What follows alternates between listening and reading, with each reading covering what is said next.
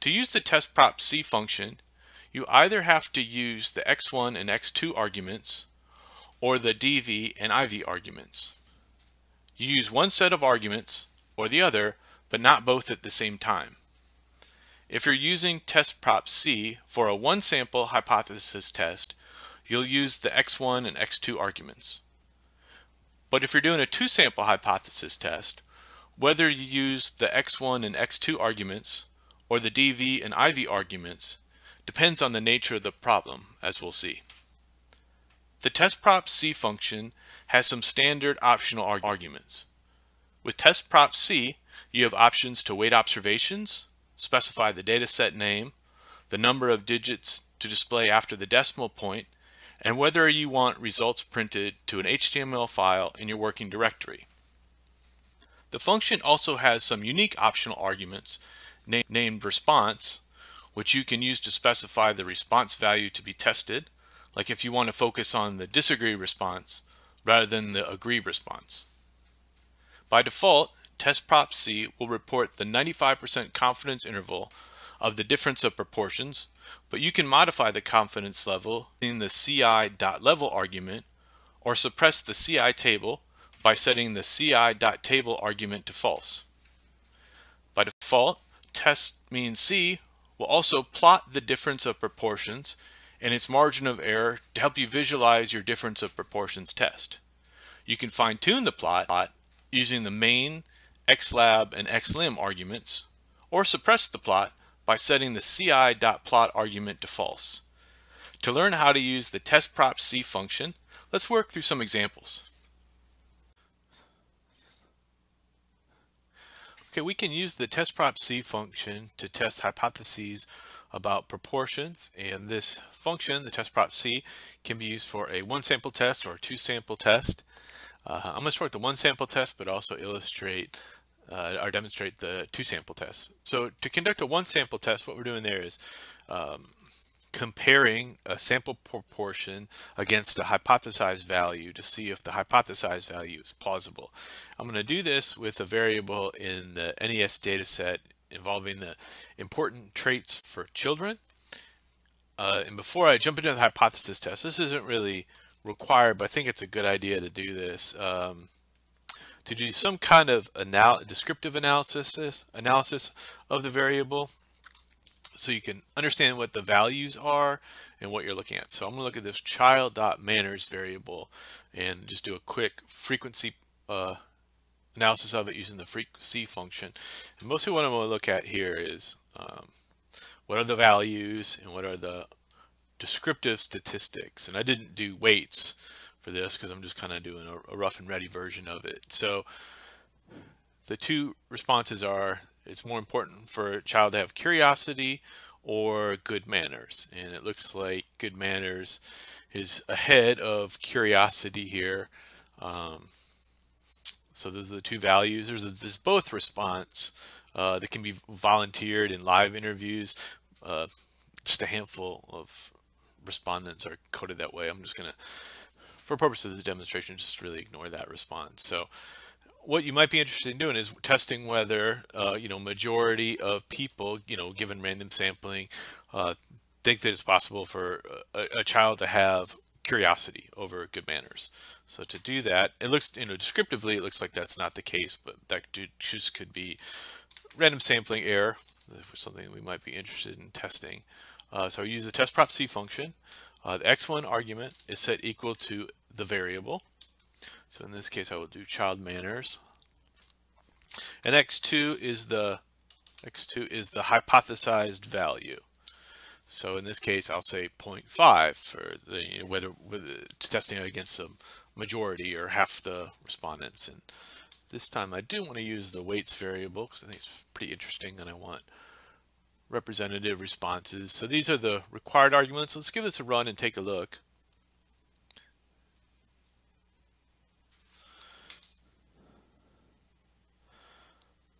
So the function generates uh, several tables in a plot. Let's take a look at this. So it tells us at the outset, since we didn't identify the response value to compare, it defaults to the first response, curiosity.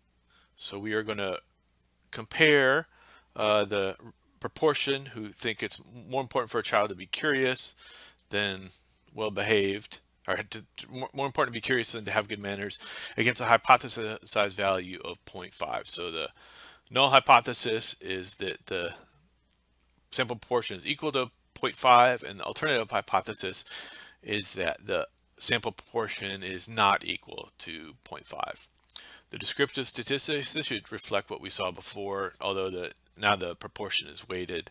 Uh, the proportion who think it's more important for a child to be curious is 0.399. Uh, the hypothesized value is just shown there is 0.5. The appropriate test is a z-test where it's comparing the hypothesized value, the sample value to the hypothesized value and dividing that difference by the standard error. This will give us a z-statistic of minus 16.83, which has a very low p-value, so we conclude that the observed proportion is different than 0.5. Uh, and then the last table gives us a 95% confidence interval of the difference of proportions. Uh, the difference is a little more than uh, 0.1, so it's minus 0.101. Uh, and then the plot here is, is plotting that confidence interval. So you can see that it's significantly lower than zero. Zero is the dashed vertical line here. And then the point is the point estimate, this value.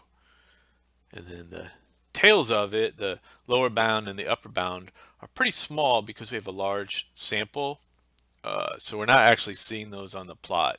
So that tells us that the plausible range of values is less than zero. There is a difference between this observed value, observed proportion, uh, let's say the child should, the child should be more important for a child to be curious and 0.5 so less i'm confident that a, less than a majority of respondents think that it's important more important for a child to be curious than to have good manners.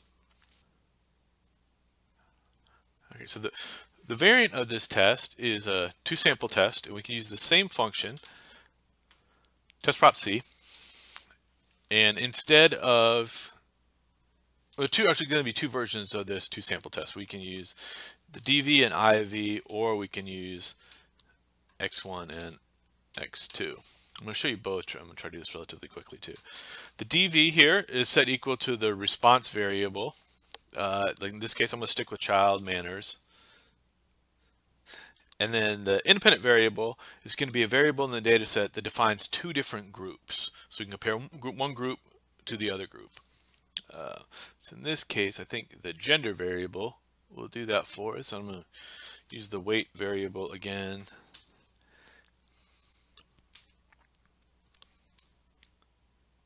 Let's give this a run and see what it looks like. So again, it's going to default to comparing uh, the curiosity values between males and females.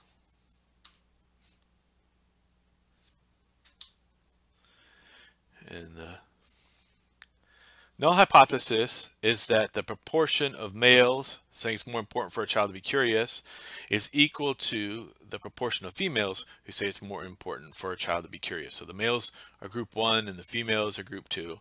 The null hypothesis is that the proportions are equal. The alternative hypothesis is that the proportions are not equal. One of the groups, males or females, uh, I think has is a higher proportion uh, for the importance of curiosity. The table of descriptive statistics gives us a first look at this. It says that the proportion of males who think it is more important for a child to be curious is 0.461, and the proportion of females who think it's more important for a child to be curious, 0.38. We can see the N in both groups, males and females. So this is descriptive statistics, and the hypothesis test is a z-test.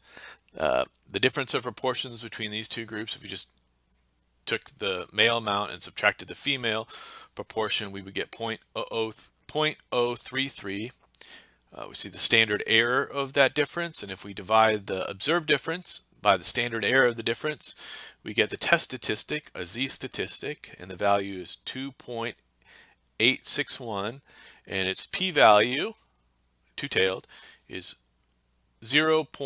0.004, so less than 1%.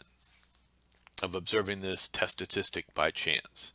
And then the last table gives us the confidence interval of the difference of proportions. We see the point estimate here. It's the same as the difference of proportions, 0.033. The lower bound of the value is 0.010 and the upper bound is 0.056. What's interesting about this is, what's noteworthy about this, is that the lower bound is great, significantly greater than zero. So the lowest plausible value is 0.01 or 1%, and zero is not a plausible value, which reinforces the conclusion from the reinforces the p-value from the z-test. Uh, the p-value is less than 0.05 uh, so we were would be unlikely to observe this difference by chance. And we can reinforce that with the confidence interval that our confidence interval does not include zero. And we see the values plotted here. Um, in a minute, we're going to zoom in on this to see a little more closely. But you can see, if you look closely, that the lower bound uh, and the point does not intersect the vertical line that's at zero. So we can be fairly confident that there is a gender difference uh, with respect to the importance of a child having curiosity or manners. Now, as I promised you that there is another uh, version of the two sample test that uses the x1 and x2 arguments. Um, so it's somewhat similar to the the DV and IV usage, but instead of groups defined by gender, each variable essentially uh, kind of defines a group. I don't know if that's the right way to put it, but uh, maybe if I illustrate it, it'll make more sense. So we're going to use, rather than just one variable, we're going to use two variables and then compare uh, response category for each variable. And the, the, the trick really to this is you've got to pick variables or you would you would use this with variables that are coded the, the same way. So for example, I might say that the x1 variable is going to be um, one of these spending variables. I'll just kind of do this quickly. So I'll say border. And x2 is set equal to another one of the variables like crime. And I'm going to use the weight variable again. So it's going to compare uh, the responses, you know, respondents feeling about spending on border patrol compared to spending on crime and see if there's a significant difference. And the note here is saying like we're going to compare the proportion who say that the spending should be increased a lot. Okay, so the difference of proportions test, we're comparing the proportion who say that spending on the border should be increased a lot to the proportion who say that spending on uh, crime control should be increased a lot. The null hypothesis is that the proportions who say increased a lot is the same for both of these spending categories. The alternative hypothesis is that the proportion who say that spending should be increased a lot is different between these two spending categories. Descriptive statistics, see that 0.303 of respondents say that spending on border patrol should be increased a lot, whereas on crime, the value is 0.374. So it's higher on crime. Is this a result of random sampling error? The z-test gives us some insight on that. We've got our difference of proportions. The difference of proportions, uh, group two is 0.0717 higher. See the standard error of the difference of those proportions. If we divide those two values, you get a z statistic minus 9.717. The p-value is minuscule, uh, very close, not quite zero, but very close to zero. We have its confidence interval of that difference. The point estimate is the difference of the proportions. And we've got a lower bound and upper bound value. And the plot here shows that confidence interval of the difference plotted uh, the whole amount of it is less than zero. So the upper bound, even the upper bound of this the statistic or the difference is less than zero. So we conclude that these two are different. And the key here, just to reiterate, the variables need to be coded the same way. So you're kind of making apples to apples comparison. You're comparing, you know, the spending priority in one category to the spending priority in another category. And this is kind of the way that, that the X1 versus X2 uh, difference in proportions test makes sense. You would not, for example, and I didn't, so I didn't demonstrate this. It wouldn't make sense to say compare, you know, the proportion of respondents who say a child should be well mannered to the proportion of respondents who think that uh, spending on crime control should be increased a lot. I mean, those are two kind of incomparable responses. So this X1 versus X2, the two sample test, uses variables that are coded similarly. So we would have a common response category, like one increased a lot that we can compare uh, X1 versus X2.